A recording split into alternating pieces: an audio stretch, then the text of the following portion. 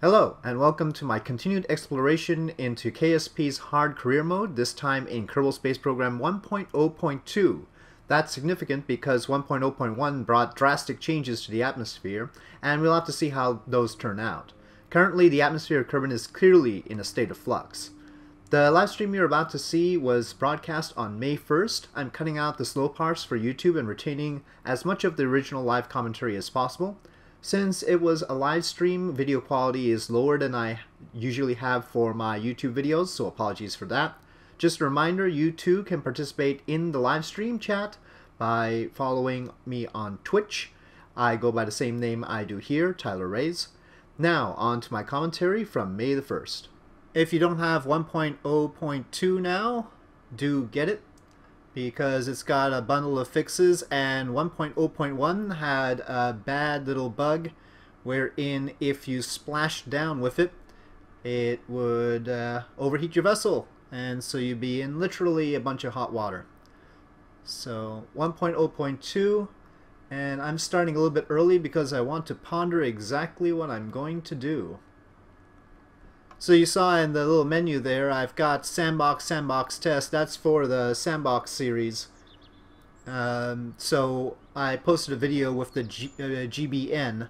And so the GBN flight was done in the Sandbox one. Sandbox Test is to test the craft before I move it on to do actual missions and recording. So that is what I'm doing there. Now, let me remind myself, because I've been doing a lot of Kerbal stuff in the background here and I did the colonization series and realism overhaul recently as well. So I have to refocus here. And we need science data from space around Kerbin, science data from the surface of the moon. That's gotta be the tougher one. Now they've fixed things and I'm hoping that certain very significant bugs that for instance caused the death of Jebediah uh, are fixed that is a thing I sincerely hope. But, oh. Hmm. We've got a flag issue here. I thought I had put the, my flag in, but uh, it doesn't seem to see it. Okay, well, uh, for now, let's just go with that. Okay. We need to send some science... Uh, we, will let's just take care of the transmit recover scientific data from space around Kerbin 1. Let me quickly check what the what the value of that is, how many funds we get. Uh, somebody pointed out on my YouTube videos in the comments that I didn't notice, but we we had to pay for hiring those two extra pilots, and that that ended up uh, knocking us down quite a lot in terms of our funds. Problem is, we've done most of the obvious things: mystery goo, materials bay, temperature scan. We'll have to do one of those zero ones. trying to figure out, okay, uh, EVAs we get here. So if we paid 150,000, we could do an EVA, but that's that's pushing it. What I really want is Dobodyne Octo. That's the that's the piece I want right now because then I can land on the moon. As long as I have that, I have confidence that I can get it to the moon but we're not there yet. Maybe maybe unlocking EVAs would allow us to do that. But that is gonna cost us 90 science. Now, the way I figure it, we're gonna have to do EVAs, but we don't have much of a budget, and to unlock EVAs, we need 150,000 funds. We don't have too much science to do in orbit, science data from space around the moon. That's that's more like the kind of thing we could do right now. We could do that. That's gonna cost us 4,000 if we fail this one. Let's just do a quick launch and get some science from space around Kerbin uh, by just doing a null experiment and just move on because I need the cash and if they haven't fixed that problem then I'm I guess I'm going to have to exploit it. So we're accumulating funds so we can unlock EVAs so that we can get science in order to unlock the Dobodyne Octo so that we can then land on the moon with a probe. Okay, here we go.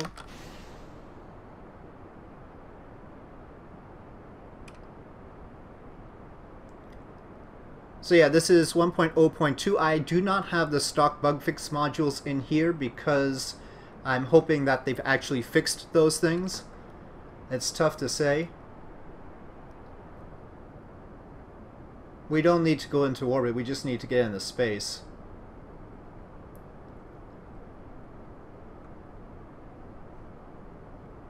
They've changed the aerodynamics a bit. Uh, actually, the GB, which I have in my sandbox series, now doesn't work quite the same. Not that it doesn't work, it does, still does an okay job. This is probably overdoing it for space. Yeah, two updates dropped today. Uh, the bigger one, I mean, 1.0.1 changed quite a lot. It's like like I was saying, uh, aerodynamics was uh, there. There's some significant changes there, judging from my testing in Sandbox. Okay, I'm not gonna go any further than this.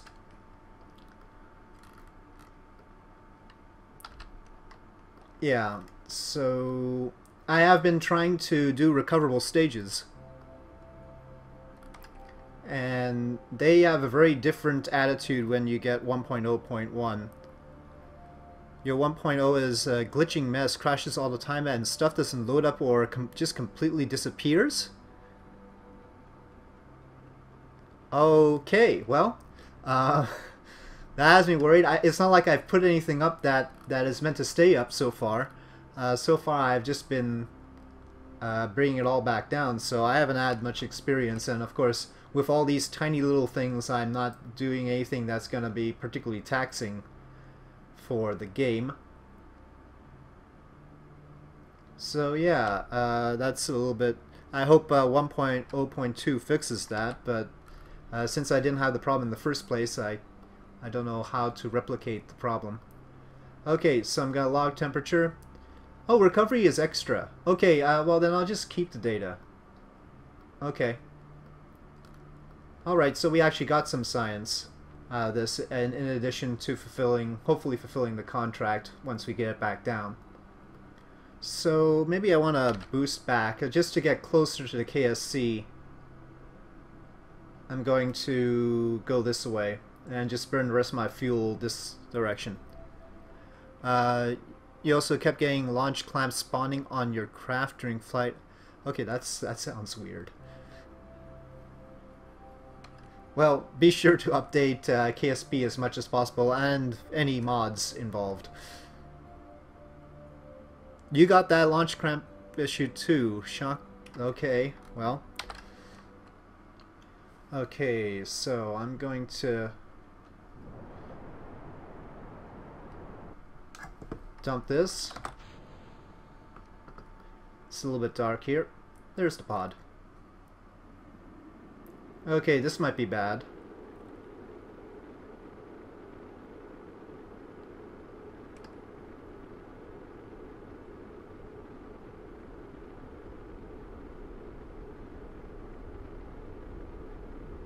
Ablator's not really melting off very much.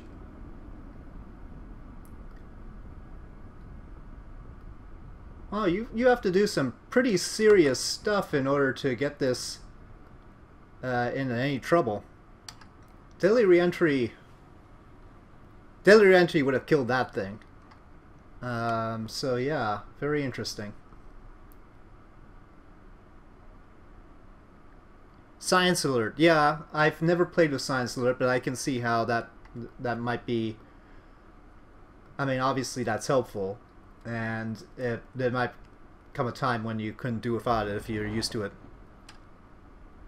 Yeah, he's he's he's he he's used to these G-forces. Apparently, they put them through some serious training in those centrifuges or something. Okay, I'm certainly glad they fixed that splashdown bug in 1.0.2. Recover. Anyway, uh, we got funds back for the recovered parts, but we should have gotten the contract fulfilled. Uh, yep. So now we only have one contract, and that's for science data from surface of the moon.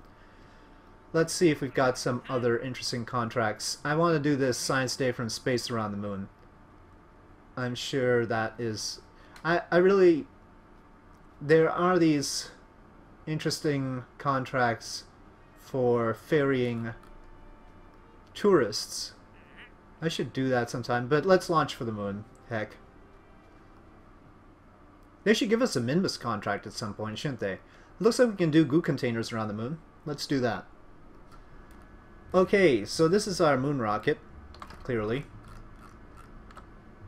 This has, okay, it has uh, two batteries is what it has. We can take this off. Let's get, pick a flag again. Let's go with, nah, that's a little bit too lofty. Um, sure, Kerbin Moon flag, that's, that's appropriate. Okay, and some goo containers. Probably shouldn't be picky about these beginning craft, but anyway. Uh, those goo containers have probably gone overheat a bit. The batteries are worse though. Okay. Well, I think I'm gonna go like this, and we'll just got beta 5. And... Um, nope. Uh, Gusper didn't even get any uh, experience for that last flight. I'll, I'll send Sidri there. I don't think Sidri will get much either because uh, Moon... I think everybody's got enough to cover the Moon now. I don't want a time warp, so let's just get on with it. It's uh, dusk, I think, or is it... Uh, yeah, I think it's dusk. Alright, let's see now. Sidri, let's go.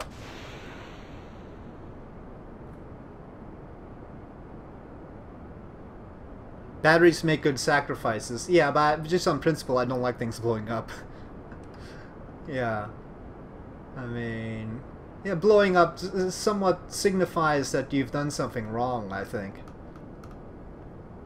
Now, the thing is, with the adjusted aerodynamics in 1.0.1 and 1.0.2 from from uh, the original release, uh, I don't know exactly how our previous, you know, we tried to uh, air brake at 30 kilometers and then uh, do the full reentry at above 20. I don't know how that's going to work out now.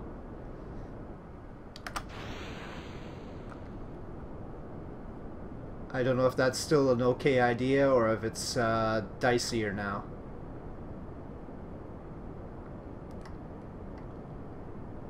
Kerbal God of Batteries, well, if it's a God of Batteries, would it want batteries as sacrifices? Usually gods want want sacrifices of other things, right? You know, the gods of humans want animal sacrifices kind of thing. Still not a efficient launch profile. Actually, with I've been testing recoverable stuff in Sandbox for that series, the Sandbox EDB series, and it looks like uh, you could go down to to 30 degrees pretty quickly. As long as you follow prograde, of course. Okay. Let's hold off on that. Let me see where we're at. We're getting up there. Probably low throttle. Half throttle seems like a good idea at this point. Nufar, gonna change everything as far as RO goes. Yeah. Which means I'm gonna have to figure out everything all over again. Uh, yeah, well, anyway, but that's that's that's the fun part.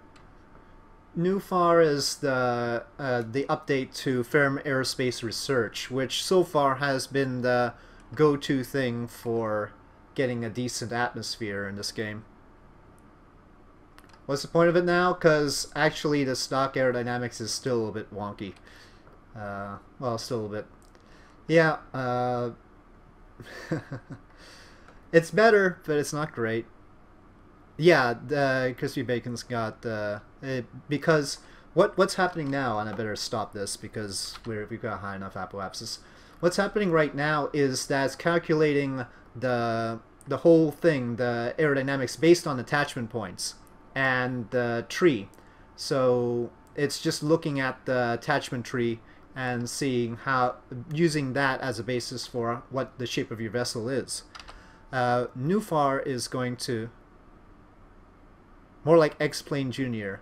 Okay, well, we'll see about that. I've got X-Plane as well, but I, I don't play around with it that much. I want it to because it's got the you know airplane designing function built in. But uh, yeah, so basically it's gonna take the actual shape of your vessel. It, uh, I'm I'm not very technical, so Nufar is gonna be a much better model. Very slowly getting into orbit. Uh, looks like uh, soon after we get into orbit, we should be able to transfer to the moon. Didn't even really need to make full orbit, honestly. But might as well. There it is. Okay. To the moon. Still waiting for visual enhancements, etc. You miss your clouds and thunderstorms. Yes. Thunderstorms I never had much of, but uh, that's uh, that's additional stuff. Uh, but uh, environmental visual enhancements itself, I I'm definitely waiting for. I don't know. I I should check whether it still works. It could still work. There's no particular reason why it can't still work. Okay, still haven't unlocked the maneuver nodes, so here we go again. But this is a much better transfer than the one I did with Val. So...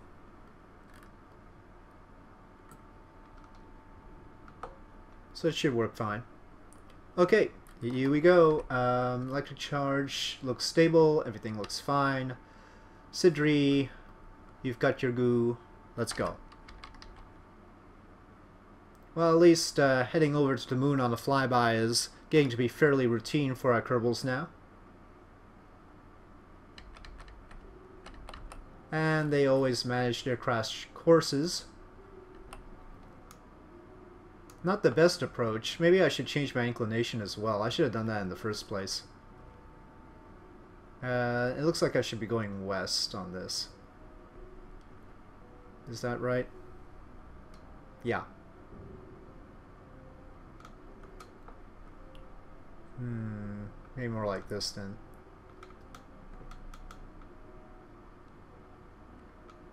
This is strictly unnecessary, but in the interest of neatness. Getting a little bit high there. I want to get near to near to the moon, so we need a little bit tighter here. Okay, that'll be good. Mystery goo here. Okay, we'll keep that. 1.0 point oh put an asteroid belt around Dres. People keep saying to visit the Dres asteroids, and none of the streamers actually did, I think. I, I at least everybody kept saying that, but uh, I don't remember anybody actually doing it. Maybe I missed it. Um, I haven't checked. I haven't checked uh, if there is some asteroid business going around there. Alright, we should be decently close to the moon.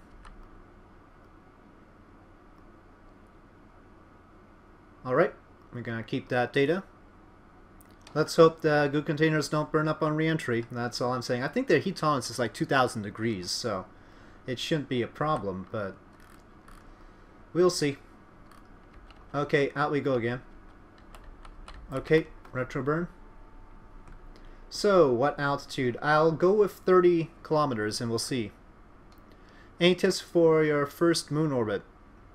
trouble getting to escape. You don't need to go to escape velocity. You need to go less than escape velocity. Escape velocity means that you're going to be going out of the whole thing. Uh, you want to stay in orbit around Kerbin. You just want to really elongate orbit like I've got right here. So to get to the moon, just a reminder, you're going to want to start burning for the moon when it appears over the horizon. You want your burn should be about 800 meters per second, assuming you're in a tight orbit around Kerbin. Yeah, Scott Manley is probably is he doing a tutorial? Yeah, there's that. But really, it's it's not that it's not that complicated. You see the moon over the horizon of Kerbin.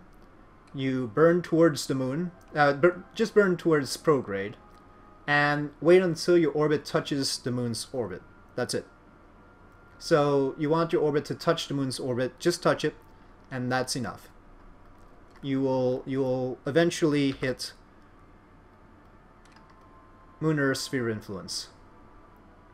Yeah, I've got the beta tutorial series from 0.90 that'll explain all of it too.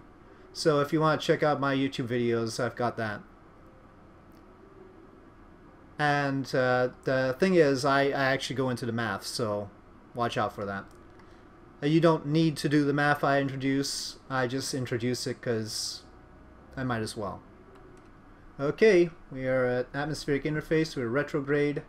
Um, now, last time, this was an okay altitude to keep our service module, right? This is an aerobraking altitude wherein our service module is not going to blow up.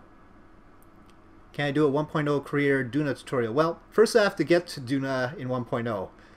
Uh, that, yeah. Uh, first I have to get to Duna in 1.0. I don't think it's uh, fair of me to try and create a tutorial if I haven't done it. I mean, my expectation would be it's you you're gonna need some engine power to slow down at Duna, and you're probably gonna be overheating a little bit. Interplanetary travel and KSP. Uh, well, uh, I do have videos on that on my YouTube. So again, my beta tutorial series. Uh, the first episode of it is my most popular video. That series does cover interplanetary transfers and everything about interplanetary transfers should still be applicable to this version. I'm just gonna tell Sidri to hold retrograde, shouldn't I? Uh, well, once I get a contract to go to Duna, I will. Um, tell you what, I'll, I'll, I'll, try it over the weekend at some point, uh, just on my own. I don't know, maybe during live stream, maybe not. Uh, hold on a sec this has brought us down a lot more than it did in the previous version in 1.0.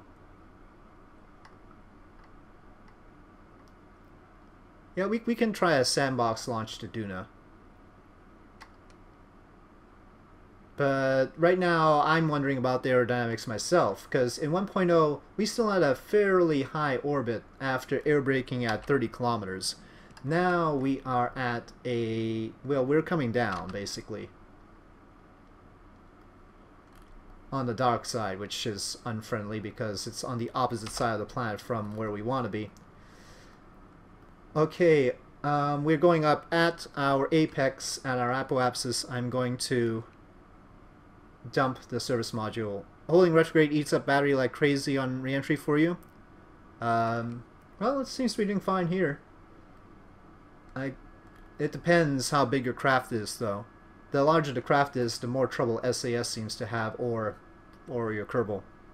F5 before you air brake to Duna, F9 each time you fail. Yeah, yeah, you can do uh, air braking testing like that. Yeah, uh, I do that. I've done that before. Uh, just uh, quick save, quick load to find the right height.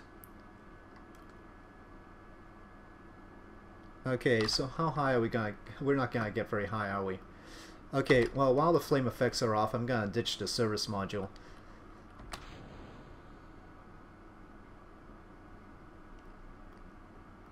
Okay, here we go. The question is whether anything will burn up.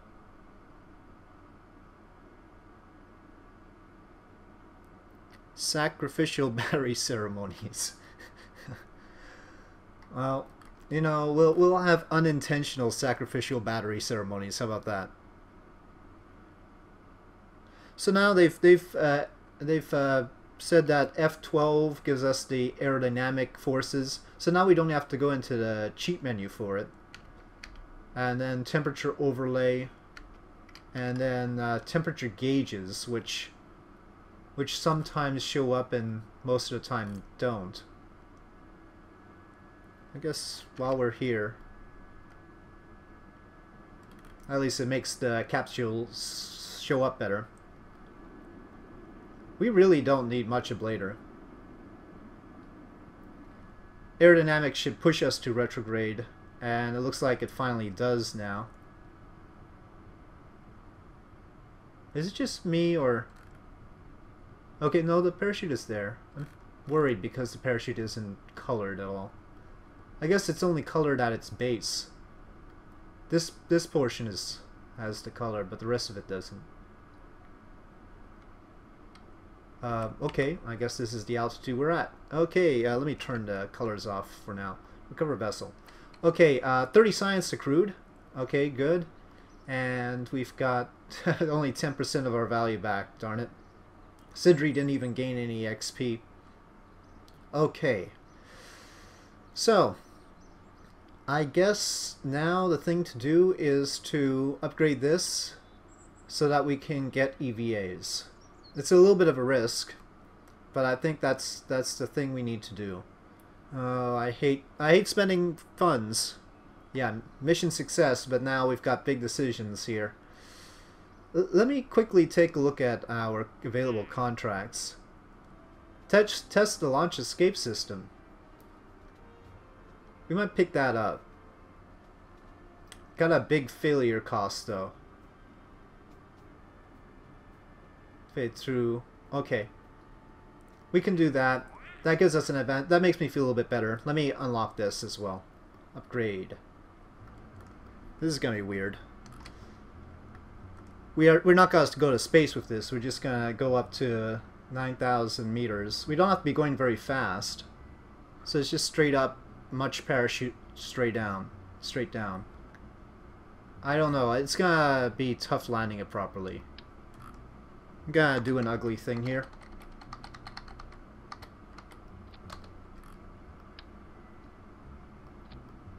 Do you suppose that'll work?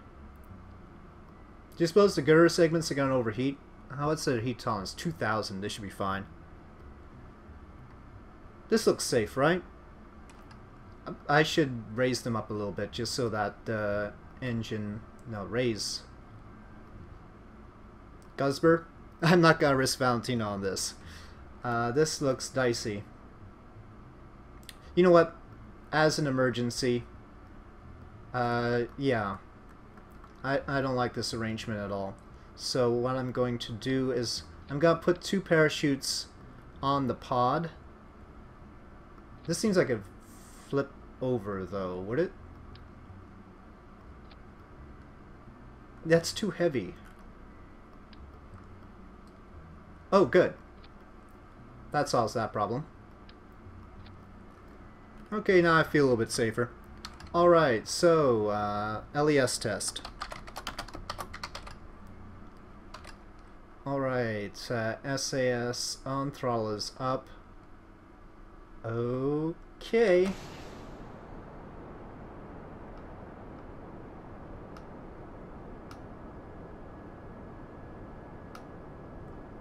Let's pay attention to when we fulfill, if we fulfill these requirements. says it has to be activated through staging. Okay, getting there, and... Alright. Okay, fair enough. Good job, launch escape system. Now, let's see if we can do this while bringing all of it back down. We'll wait for negative velocity here. Uh, not too far from the launch pad. This sort of lo looks like Mercury, doesn't it?